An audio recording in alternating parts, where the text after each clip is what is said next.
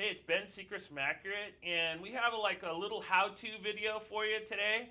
Um, it's been brought to our attention that a lot of people are asking me how to put braid on reels, and we've also seen a lot of people. I'm not going to say a lot of people. A few of our customers putting braid on the reel, but they don't put it on tight enough, and what ends up happening is the braid turns on their spool. So they think there's a problem with the drag sometimes. We get the reel back, and it turns out the braid on the reel is loose. So what we're going to show you right now is how to put the braid, tie it onto the spool so that it's going to be tight and we're going to show you how we put braid on. This is for the people that are trying to do it at home, not the people that go to the stores and they have those great machines there. These are the how-to guys. So here you go. Basic braid. Okay. Most important thing you can see here, see the see this tape? You can use finger tape or you can use basically this is uh, masking tape. Any of it works but what it does is it lets the line grab a hold of something and holds it really tight onto the spool. So what we do basic knot that we use is it's basically a uni knot but instead of going just once around the spool we go twice. We can never get it out of there. Here it is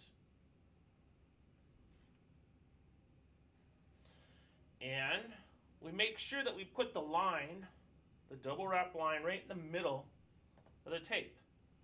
So we're just going to tie a regular uni, right? Tag in, goes to the spool of line, one loop, right? You guys have seen this knot. We've done this knot.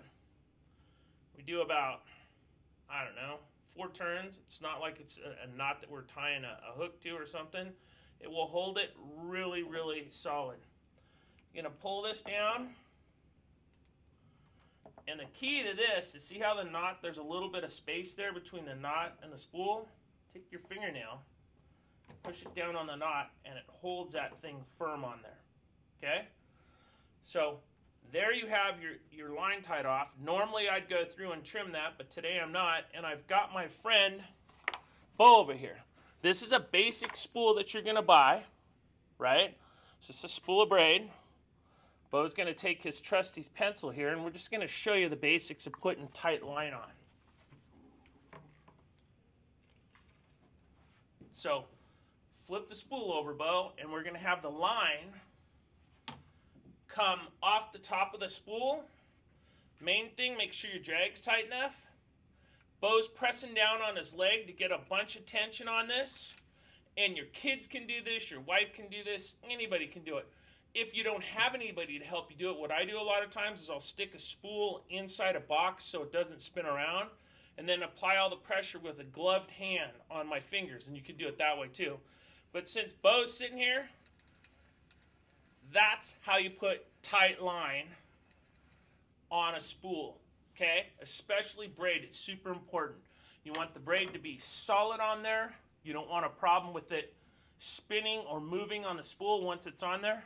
So hope that helps you guys. We wanted to make sure that we did that because we heard this twice yesterday.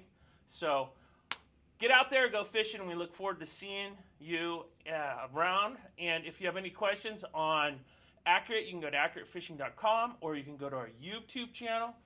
And if you have questions on anything service-wise here, you can call Accurate and talk to any of us. Appreciate it. See you guys around.